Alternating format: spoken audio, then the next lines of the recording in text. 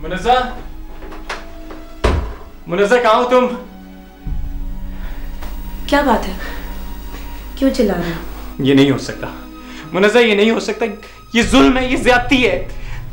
तुम इस बात के खिलाफ कुछ बोलती क्यों नहीं? हर बात में बोलती हो हर किसी के लिए बोलती हो। आज आज अपने लिए क्यों नहीं बोलती? कैसा जुल्म? कैसी ज्यादती? हमारे यहाँ बेटियाँ अपना मुकद्दर खुद नहीं बनाती। माँ बाप चाहे गलत हो या सही उनका हुक्म मानना ही यहाँ की औरत की तकदीर है। और तुम तुम जान छुड़वाना चाहते थे ना मुझसे? लो छूट गई तुम्हारी जान। मुनजा तुम मुझे समझ ही नहीं सकी। तुम्हें कैसे बताऊँ? तुम्हें इस बात का अंदाज़ा नहीं है कि मैं तुमसे कितनी मोहब्बत करता हूँ। मैं तुम्हारे बगैर ज़िंदगी का तस्वुर भी नहीं कर सकता। प्लीज़ मुनसब मुझसे इस तरह मुँह मत मोड़ो प्लीज़। तुम तो मेरा साथ दो।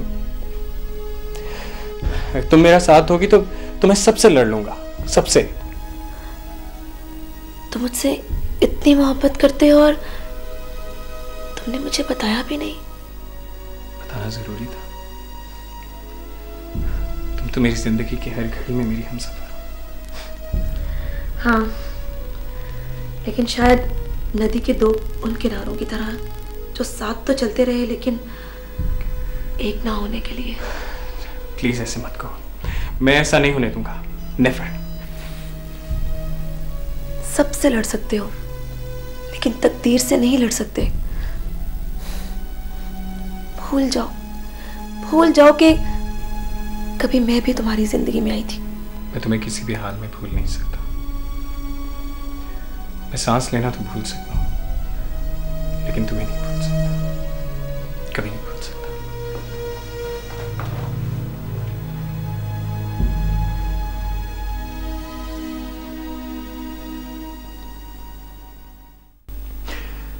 क्या तुम ये भूल गए हो, हारिस, कि तुम्हारे इस फैसले की वजह से इस घर का पूरा निज़ाम खत्म होकर रह जाएगा? तुमने मेरे माँ बाप के सामने मुझे कितना छोटा कर दिया है। तुम्हें शायद इसका अंदाज़ा नहीं है। अबू माजरत के साथ मैं मम्मी की ख्वाहिश पूरी नहीं कर सकता। माँ के फैसले को गलत साबित करके तुम अपने फैसले को सही साबित करना चाहते हो? नहीं भाई नहीं। आज तुम माँ बाप के फैसले को गलत साबित करोगे कल को तुम्हारी औलाद तुम्हें गलत साबित करेगी। क्या हमने तुम्हें मोहब्बत नहीं दी? क्या हमारी तरबियत में कोई कमी रह गई है? क्या हम ही गलत हैं? हम्म? मैं ये नहीं कह रहा कि आप लोग गलत हैं। मैं रिमशा से वादा कर चुका हूँ। मैं उसे इनकार नहीं कर सकता। वाह। रिमशा के साथ किया हुआ वादा याद है तुम्हें। और औलाद का माँ बाप के साथ किया हुआ अनदेखा सुना वादा भूल गए। औलाद माँ बाप के लिए ज़िंदगी होती है बेटा, ज़िंदगी। I am really sorry dad. लेकिन मैं ये नहीं कर सकता। मैं ये सब नहीं कर सकता, डैड। तुम्हारी ये बेबसी, तुम्हारी ज़िंदगी भर का रोग बन जाएगी। बच सकते हो तो बच जाओ बेटा। पछतावा किसी को कुछ नहीं दे सकता। कुछ नहीं दे सकता। पछतावे की धूप उम्र भर का रोग बन जाती है। रोग बन जाती बेटा।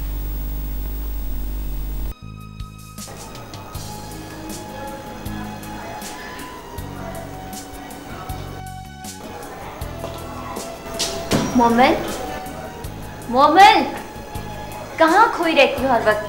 अम्मी अंदर बुला रही है ईद के कपड़ों का पूछने के लिए। ईद? कैसी ईद? तो खुशी का नाम होता है। और मेरी किस्मत में तो खुशी है। दूसरों को खुश देखकर खुश हो जाना भी बहुत बड़ी खुशी होती है। क्या हुआ? अगर हमारे पास खुश होने के लिए कुछ भी नहीं। एक बात पूछूँ अलीना? क्या तुम सैफ को भूल पाओगी? कुदरत का इनाम समझकर इस दुख को सह जाऊँगी। दुख और सुख देने वाला जो भी दे उसे उसका कर्म समझकर कबूल करना हमारा फ़र्ज़ है। तुम कितनी बहादुर हो। क्या मैं भी तुम्हारी तरह ज़िंदगी को अपने अंदाज से जियोगी तो हर पल तुम्हारा है। अच्छा तुम ये बताओ तुम्हारी ईद की शॉपिंग का क्या बना? तुमने तो इस दफ़ा ऐलान किया था कि मैं सबसे महँगी शॉपिंग करूँगी। नहीं मोमिन अब मैंने सोचा है कि ईद इंतहाई सादगी से मनाऊँगी। जलजिला जदगान की मुसीबतों और आजमाइश को देखकर तो दिल खून के आँसू होता है। उनके गम के सामने अपना गम बहुत छोटा लगता है। तुम ठीक कह रही हो अलीना। कयामत से कम घड़ी नहीं थी। वो वक्त जब भी याद आता है रो तक काँप जाती है। अब महसूस हुआ कि गम किस तरह भुलाया जाता है। वो भी तो ज़िंदा रहेंगे जिनके कोई भी नहीं रहे। ज़िंदगी के रंग देखोगी तो हर पल एक नया रंग नज़र आएगा। तुम ठीक कहती हो अलीना वो वक्त हमारे लिए सबक ही तो था, जो हमें नहीं भूलना चाहिए। थैंक्स मेरी बहन। ईद से पहले सभा को कोई वाजे जवाब देना है, क्योंकि वो ईद पे रस्म करना चाहती है। और इस मसले पर तुम लोगों ने काफ़ी सलाह मशवरा कर लिया है। अब मुझे भी तो कुछ बताओ। कि मैं उसे क्या जवाब दूँ? चलो भाभी आप जरा यहाँ बैठी बैठी जी भाईजान। अम्मा आप सभा को साफ़ इनकार कर दें। क्यों? मोमल मेरी बेटी है और वही मेरी बहू बनेगी। और अब मैं देखता हूँ कि मेरे फैसले से कौन इनकार करता है। शैला भाभी आप मेरी भाभी ही नहीं मेरी बहन भी हैं। इससे पहले जो कुछ हो चुका है उसके लिए मैं आपसे माफ़ी चाहता हूँ। भाईजान हाँ, हाँ, आपका जो भी हुक्म है मैं हाजिर हूँ। मेरा बच्चा जीते रहो बेटा। तुमने मेरे दिल की मुराद पूरी कर दी। तेरा अगर रोज़ाना ना ना होता तो मैं तेरा अभी मुँह मीठा करवा देती। मैं भी नहीं। इफ्तारी पे अम्मा मैं आपका मुँह मीठा करूँगा। अरे मैं भी मुँह मीठा करूँगी तेरा भी मुँह मीठा करूँगी और इसका भी मुँह मीठा करूँगी बल्कि सारे घर का मुँह मीठा करेंगे। हाँ?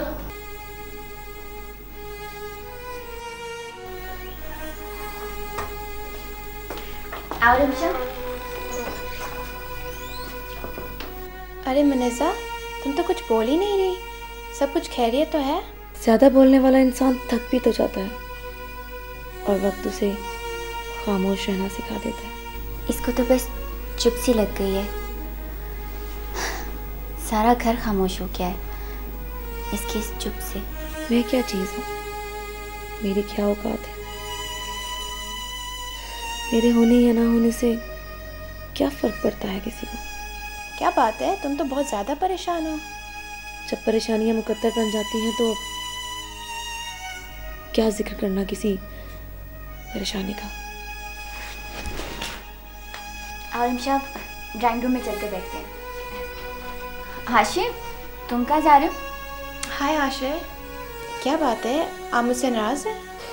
जी नहीं मैं तो आपसे बहुत खुश हूँ क्योंकि आपने इस घर के सुकून को तहस नहस करके मैं बहुत खुश हूँ क्योंकि आपकी वजह से इस घर के हर फर्द के सामने एक दीवार खड़ी मैं बहुत खुश हूँ, बहुत खुश। क्योंकि आपकी वजह से मेरे माँ बाप परसों की रफाकत को भूलकर आज फासले पर खड़े हो गए। मेरा बाप अपने भाई से दूर रहने पर मजबूर हो गया। इससे और तो कुछ नहीं, और तो कुछ नहीं, लेकिन बुज़ुर्गों को मौत के और करीब कर दिया बहुत शुक्रिया। आपका बहुत शुक्रिया। आपका ये कंट्रीब्यूशन हमारे इस घर के लिए हमेशा याद कर। हमेशा।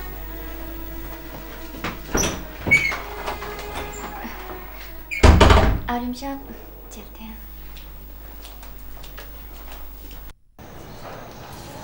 अम्मा ये सब क्या हो रहा है इस घर? हर बात हर बात इस घर में रहने वालों के लिए एक नई मुसीबत लेकर आ रही। रमजानुल मुबारक का चाँद तो बड़ी खुशियाँ लेकर आया था इस घर। मुझे खुद समझ नहीं आ रही बेटा। मैं क्या करूँ? मेरे बच्चों पर ये क्या आजमाइश आई हुई है? अम्मा सैफ और मुनज़ा सैफ और मुनज़ा का क्या जोड़ है? आप लोग किस जहाँ में रहते? जिसे जहाँ जहाँ बाँध दिया मुनज़ा की अपनी मर्ज़ी उसकी ख्वाहिश को क्यों नहीं सामने रखते आप लोग? ये सब कहने की बातें हैं बेटा। बेटियाँ तो सिर्फ़ कुर्बानी देने के लिए पैदा होती हैं। यही तो गलती है हमारी। इस्लाम तंग नज़र दीन नहीं है। इस्लाम में तो औरत को बहुत इज़्ज़त बहुत आज़ादी दी गई है। उसकी मर्ज़ी के बगैर उसका हाथ किसी के हाथ में नहीं दिया जा सकता।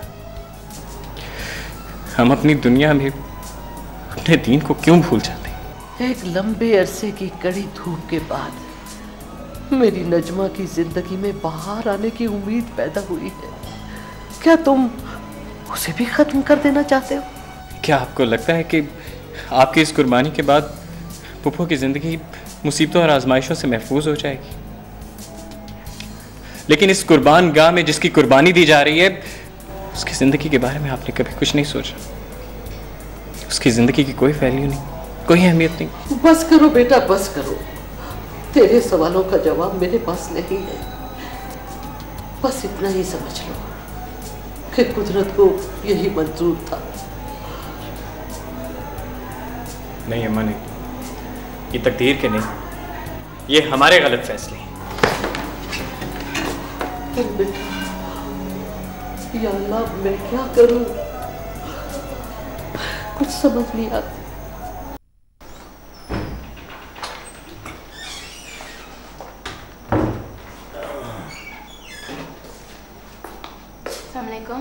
वालेकुम अस्सलाम। बेटा अभी तो आई थी और अभी जा रही हो? जी मुझे चले ही जाना चाहिए। हारिस से मिली हो?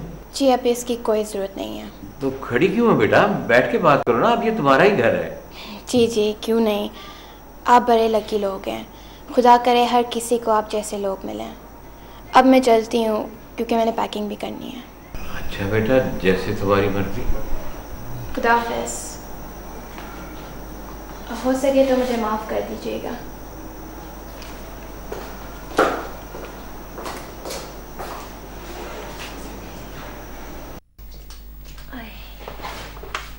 हेलो हेलो मैं रिमशा बोल रही हूँ। मैं मोमल बोल रही हूँ। फरमाइए। ओह अच्छा हुआ मोमल कि तुमने फ़ोन उठा लिया। मैंने तुमसे ही बात करनी थी। आई एम सॉरी कि मेरी वजह से तुम लोगों को परेशानी उठानी पड़ी। मैं ये नहीं जानती थी कि तुम लोग एक दूसरे से इतनी मोहब्बत करते हो। मोहब्बत करना तो सबका हक होता है। मिलती है या नहीं मिलती?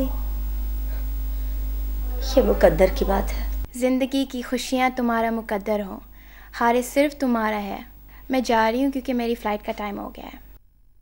सबसे माजरत कर लेना मेरी तरफ़ से। और ईद के साथ साथ मोहब्बत भी तुम्हें मुबारक हो।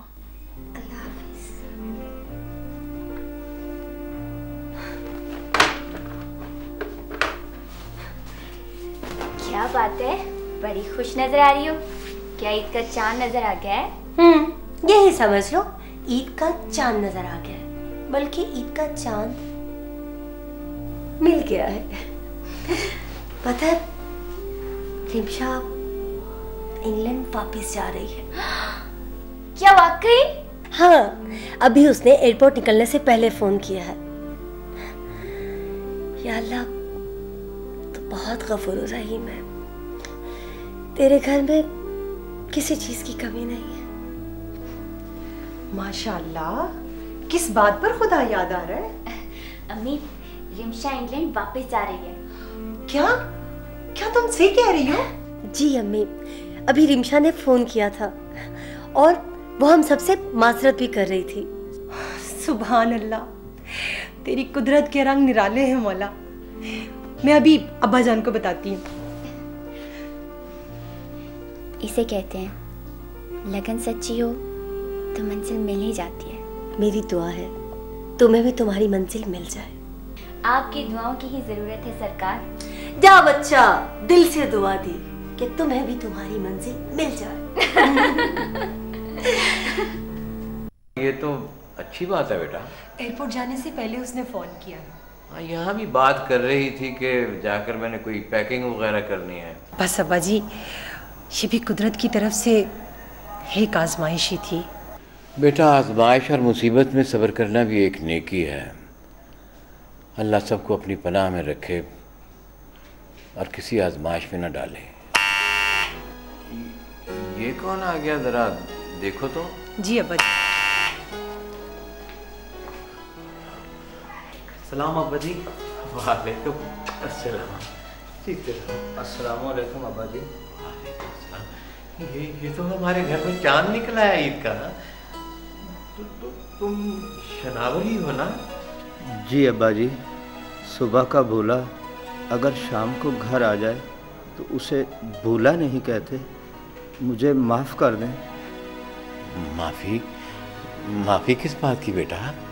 मैंने नजमा के साथ और आपके साथ बहुत ज़्यादतियाँ की हैं बाजी रमज़ानुल मुबारक के सदक़े मुझे माफ़ कर दें। ना पुत्र ना। तुमने क्या किया है? वो तो हमारी इज़्ज़त है। मान है हमारा। हाशिर? हाशिर बेटा उधर क्यों बैठे हो? इधर आ। जी ये मुझसे नाराज़ है अब्बा जी हाशिर बेटा जब कोई घर चल के आ जाए तो दिल में कोई बात नहीं रखते। मैंने इसके साथ बदतमीज़ी जो की थी। मुझे माफ़ कर दो हाशिर। मैंने गलत किया। इट्स ओके इट्स ओके मेरी सबका ज़िद को गलती समझकर माफ़ कर दें और सैफ के लिए अलीना का हाथ दे दें। नजमा की खुशी हम सबकी खुशी है।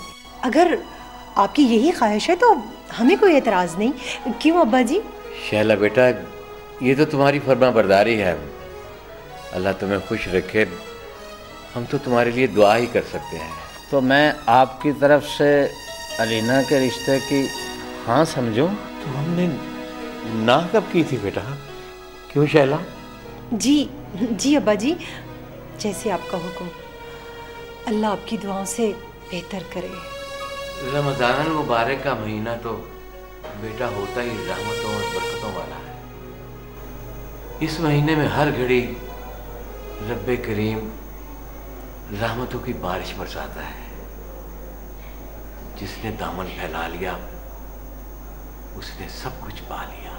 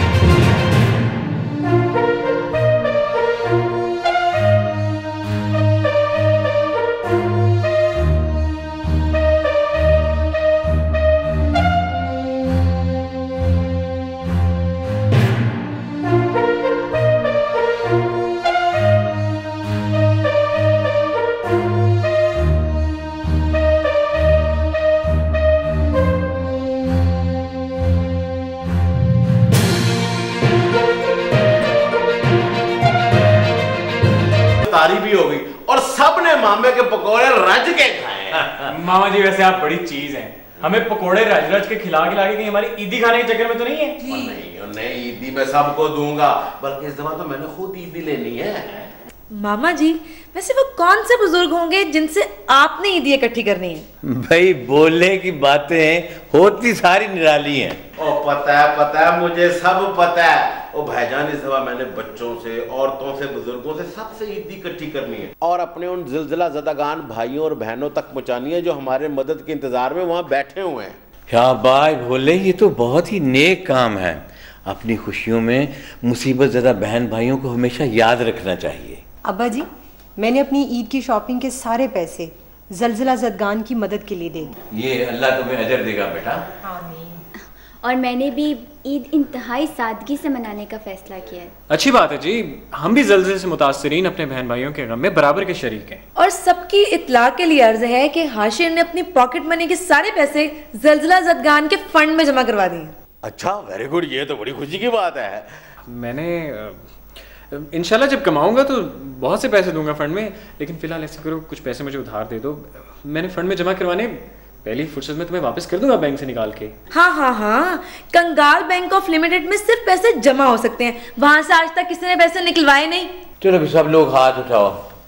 अल्लाह ताला से बरकतों वाले महीने की रुखसती पर दुआ मांगो। हाँ जी भाईजान दुआ तो वैसे ज़रूर होनी चाहिए। या अल्लाह हम तेरे गुनागार बंदे तेरी बारगाह में हाजिर हैं। हमारी हाजिरी कबूल फरमा। आमीन। या मेरे बारी ताला तेरी तौफीक से हमने तेरे रोज़े रखे तेरी नमाज़ ज़क़़त खैरात अदा की। या मेरे बारी ताला अपने हबीब के सदक़े कबूल फरमा। या अल्लाह हमारे अमाल नाकिस हैं। अपनी रहमत के सदक़े इन्हें कबूल फरमा कर हमारी निजात का ज़रिया बना। या अल्लाह। या मेरे परवरदिगार, तेरी ज़ात आला है, तू बख्शने वाला है, हमारे गुनाह माफ़ फरमा। या अल्लाह, ये रहमतों और बरकतों वाला महीना हमसे जुदा हो रहा है। हमने अपनी कमज़ोर हैसियत के मुताबिक जो जो नेक अमाल किए हैं, इस रहमतों वाले महीने के सदक़े इन्हें कबूल और मकफूर फरमा। या अल्लाह, इस माह मुबारक में जो हमारे मुल्क में बदतरीन जजला आया था उसमें मुतासर होने वाले बेकसों की मदद फरमा। आमीन। आमीन। भी आशा तुझे पता है? ओ पता है पता है। मामे को सब पता है। सुबह ईद है। ये तो मैंने कहना।